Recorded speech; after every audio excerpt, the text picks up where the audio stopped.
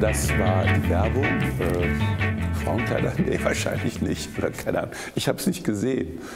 Ich werde es erst später sehen. So, jedenfalls, wir sind beim Thema Geschlechterverwirrung. Wer bist denn du? Ist das Generalthema und die Sendung heißt übrigens Gröbels Grobheiten. Bislang noch relativ wenig grob abgegangen und ich jetzt, jetzt schaffe das auch nicht mehr. Den Dreh kriegen wir auch nicht mehr hin. Also Gröbels Sanftheit passt ja auch wieder zum Thema. Ne? Talking about Clichés. Ne? Jetzt haben wir, Sua, von dir ja auch schon vieles gehört. Ja. Und ich denke, bevor wir jetzt mit dem Thema weitermachen, jetzt kommt nämlich nicht eine Werbepause, jetzt kommt der Einspieler, der Suas Aktivitäten in einem sehr kleinen Ausschnitt zeigt. Bang. You got to bring the soul back. You got to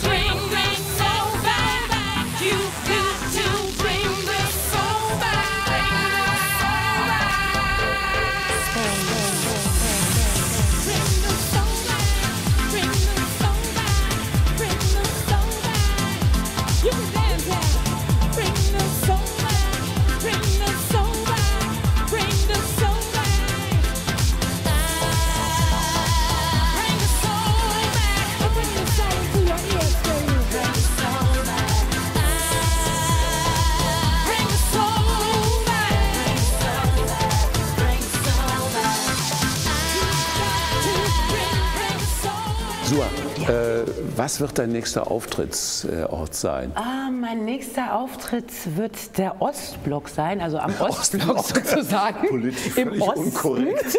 Also geografisch. Ja, genau, geografisch im Osten, da im Moment dort ähm, die Hits der 90er gerade sehr aktuell ähm, gespielt werden und große Konzerte gegeben werden. Und ich habe das Glück, in einer Band, ähm, an, also mit einer Band dort auf Tour zu gehen. Und wir fangen erstmal an in Russland. Wie heißt die Band? Die heißt C-Block. Ah, Ganz C-Block, bekannt sogar aus den 90ern, bekannt, so eine genau. Hitband. Was hatten die nochmal für einen Hit? Also irgendwie macht es mir klingen, weißt du auch nicht. Ups. Got you, babe. Wir hatten also einige Hits. Genau. Genau. Und mit dieser Band gehen wir nochmal auf Tournee und lassen die 90er nochmal richtig auferleben. Aha. Und was für ein Stil ist das denn jetzt mit der Band Der speziell? Stil ist wirklich dieser Euro-Rap. Okay. Also es ist immer ein Rapper und dann so ein bisschen Gesinge von einer Dame, was war damals... Euro-Rap, Euro-Disco, ist das so ein Genau, bisschen so in die Richtung. das oder Ja? Okay. das war ja damals so ganz modern und ist jetzt gerade wieder am Auferleben. Wir denken es noch mit Wehmut damals. Heute ist die Musik auch nicht Let schlecht. the 90s live! Genau. Bei mir ist das eher 60s, aber geschenkt.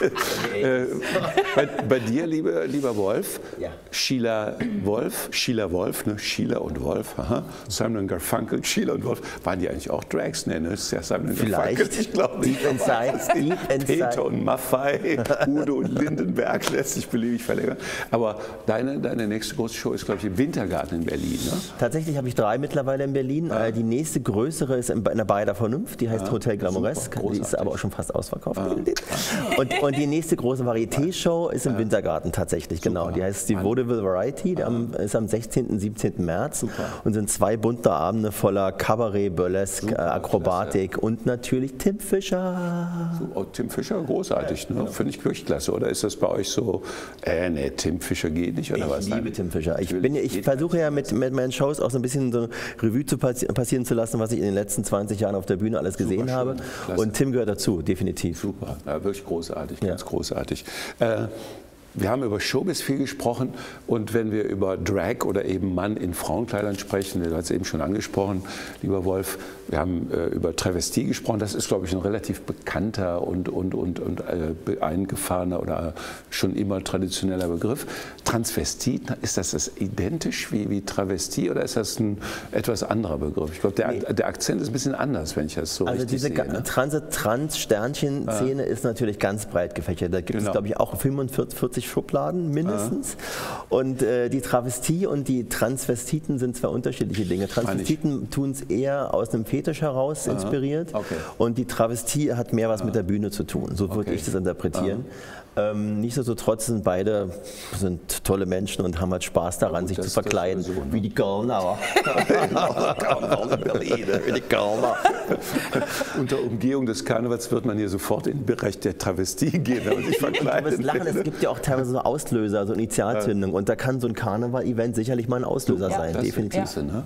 Äh, Ich würde jetzt, jetzt gar nicht zu ernst werden wollen, aber es ist natürlich allein schon so eine Klärung von Begriffen in einem Zeitalter, wo Identitäten, wo Gender Mainstreaming, wo Cross-Gender große Themen sind, äh, bis hin zu dem, also ich kann mir bis heute die Abkürzung nicht merken. Also ich weiß, ist das nochmal LGBT? Also wenn ich mir Mühe gebe, glaube ich, heißt das dann so Lesbians, Gays, äh, Transsexuals und so weiter. Intersexual. Intersexual. Dahinter stehen ja dann schon auch leider, leider äh, äh, Dramen von nach wie vor einer Gesellschaft, die eben nicht wie ihr oder ich hoffe ich auch und viele um uns herum, die da nicht so, so, so selbstverständlich mit umgehen und wo ich immer völlig von Socken bin, dass es immer überhaupt noch ein Thema, Thema ist. Ne? Also sexuelle Identität oder überhaupt nur Geschlechtsidentität. Aber es ist ja ein großes Thema nach wie vor. Und ich sage auch, Jetzt quassel ich doch ein bisschen länger, obwohl ich mir vorgenommen hatte, das nie mehr zu machen. Grübels Gruppe.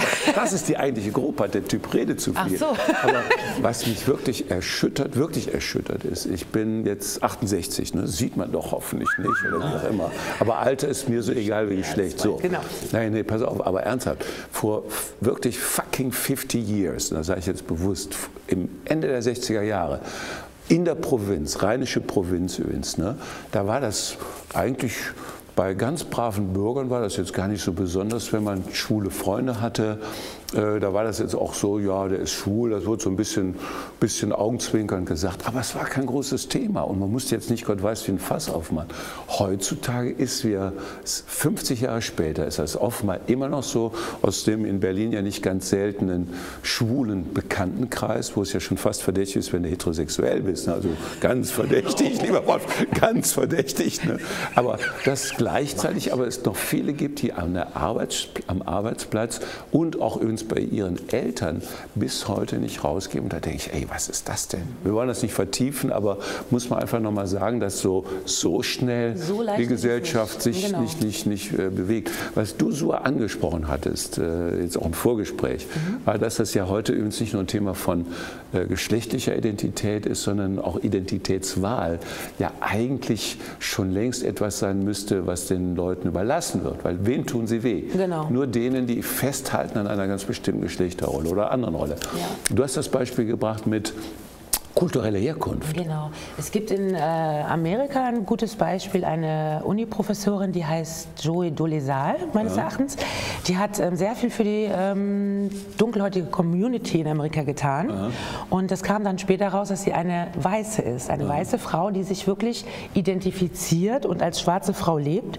Und ähm, ich finde das sehr interessant, dass auch das sich eventuell vielleicht in den nächsten 50 Jahren auflösen könnte, dass man gebunden ist an eine, eine, eine Herkunft und dass man sich nicht, dass man nicht auch die Herkunft wählen kann oder vielleicht das Alter, in dem man sich sieht, wählen kann.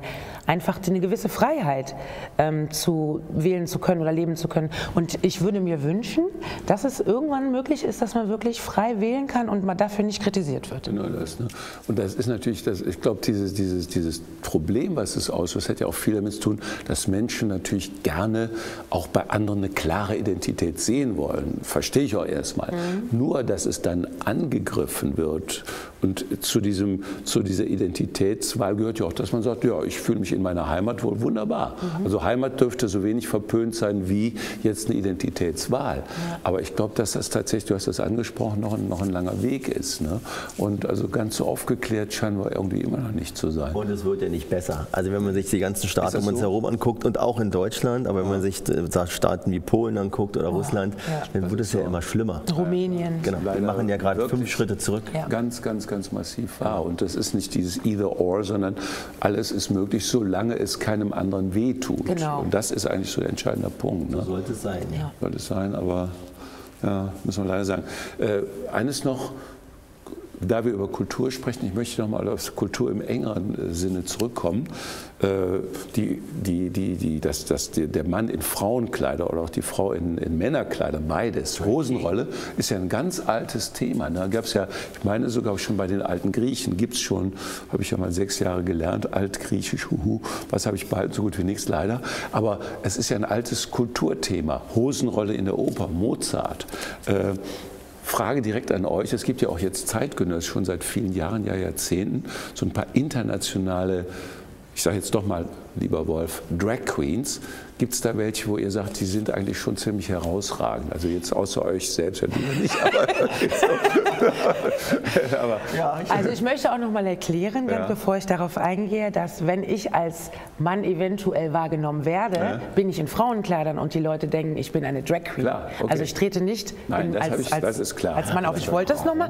Das gibt es, weil die Leute, ich bin eine Riesenfrau, komme dann noch mit riesigen Perücken und einem Make-up und dann schreie ich da rum und dann lenken die Leute. du schreist rum. Ja, dann denk, dann, ich habe es doch schon gehört hinter mir. Ja, das ist doch eine Drag Queen. aber Eine Drag Queen. Dreck, Das ist ja das. Dreck, Girls, aber Dreck. Oder, aber ja, ja. Je, ähm, kein, kein, kein Miss, keine, keine Genau, Missverständnis. nur das- das noch mal- Genau das. Ja, aber habt, habt ihr so, habt ihr Leute, wo ihr sagt, die sind international? Na klar, ich nehme es mal gleich voraus, weil das ist nämlich so den Namen, den ich natürlich kenne. RuPaul. Genau.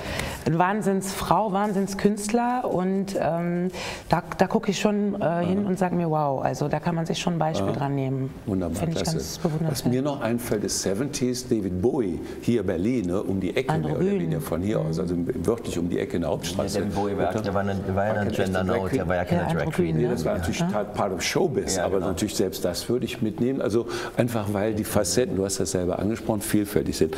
Eines muss ich noch loswerden. Ich gibt, es gibt drei Filme, es ist fast ein Ratespiel, wo ich sage, das sind für mich so die ultimativen Geschlechtsverwirrung spielerischen Filme. Äh, Die nenne ich aber nicht, sondern ich will von euch wissen, habt ihr irgendwelche Lieblingsfilme? Gibt, gibt ihr, habt, kennt ihr Filme, wo, wo das Leitmotiv mit eine Rolle spielt? Du meinst das Thema Drag? Drag, ja. Ah, ich äh, liebe sehr Tu Wong Fu zum Beispiel. Super, das ist ein klasse. toller Film mit Patrick Swayze, dem wohl heterosexuellste Mann ever, Der, äh, der in einer Rolle einer Frau einfach eine gute Rolle spielt. Oder, oder Wesley Snipes spielt damit. Und die beiden sind halt einfach großartig, richtig muskulöse Muscle Männer, die vorher wirklich Actionfilme gespielt haben. Und die treten halt als Frau aus. Oder auch Priscilla, Queen of, the, Queen Genau, of Desert. super, Priscilla ist großartig. Letzte Frage, kurze Antwort, wir sind nämlich fast da durch. Man glaubt es kaum. Das kann man nicht wählen, Identität, die Zeit der Sendung, die Länge der Hast du Sendung. noch einen Film, wo du sagen würdest, der ist der, ist der Knaller? Ich mache eine Vorlage. Äh, La Cage Folles finde ich zwar Natürlich, schräg, aber großartig. Und wirklich empfehlenswert, Victor Victoria. Der ist ein bisschen aus dem Fokus Ja, gegangen. Mit Julie Andrews, glaube ich. Ne? Großartig. Klassiker. Wir haben sie, ich glaube es kaum. Also, nachher wählen wir dann nochmal unsere Identitäten. Es war ein großes Vergnügen. Ich sage Dank nach Berlin, Danke nach Köln. Thank you so Danke much. an Drag Queens, an Männer, Heten, Schwule, alles. Und wir sehen uns demnächst wieder bei Grobheiten, in Wirklichkeit vielleicht dann doch demnächst Sanftheiten. Alles Gute, liebes Publikum. Das war's.